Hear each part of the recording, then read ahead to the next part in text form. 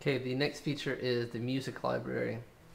As far as music goes in Media Center, uh, there are a number of plugins, uh, such as this one right here called Radio Time. This allows you to stream radio uh, off the internet. Um, you have the built-in functionality of radio. If you have an FM tuner card in your PC, uh, you can use this to tune in over the air radio. Uh, my family and I, we primarily use this for our music library. Um, let me go ahead and click in here. This is our MP3 music collection.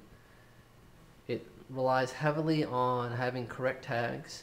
Um, you definitely want to have album art in all your MP3s, um, and you'll get this nice interface. So the default view is looking at everything by albums. I can go into the little twist up top and go into artists and it provides me a text list of all the artists. If I wanted to jump to a actual artist like John Mayer, I can use the keypad again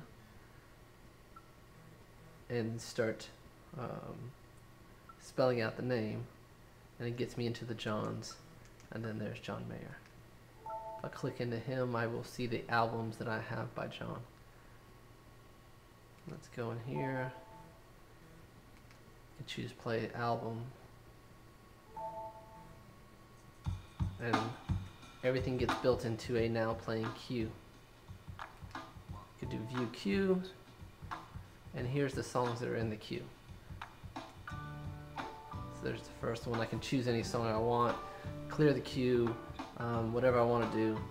Um, see there's a nice little animated in the bottom right hand corner of the current time. But that is currently playing music. Let's go back. Can also go by genre. Again, you get a nice little text list um, by genre. So let's choose alternative.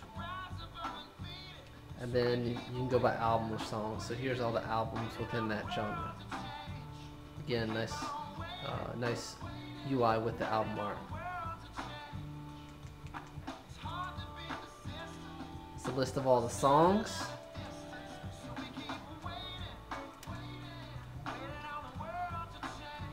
Um, definitely not my preferred way to view this. Um, any playlist that you have stored. Um, there's a playlist that I've created. There's some auto playlist. Um, pretty straightforward. Composers. Don't know why they added this. I wish I could take it off. Um, some of my MP3s have composers, but it's not something I use. Uh, one view that I do use a lot is the year view. So here's all my albums from 2008. Um, and then you can page down using the channel up, channel down, and you'll get to the different pages. Um, let's click in here.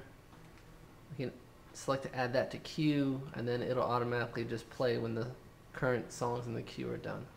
Uh, so it's really simple to create a playlist on the fly, especially if you're having some friends over. Uh, another view that I like to use a lot is the album artist view. Um, it's similar to the artist list, uh, but you get to see the album covers with it. It's a nice way to look at it. Now going back to albums, this is the large album view. You can go into here and select view small and you can see more albums at, a, at, at one time. And that's pretty much the music library. Um, as long as you have your tags and your album art, uh, everything comes through very nicely, very easy to navigate and get through. Um, here's the queue. If I go to view queue, uh, you will see here's the song that I just added to the bottom of the queue. So that is music within Media Center.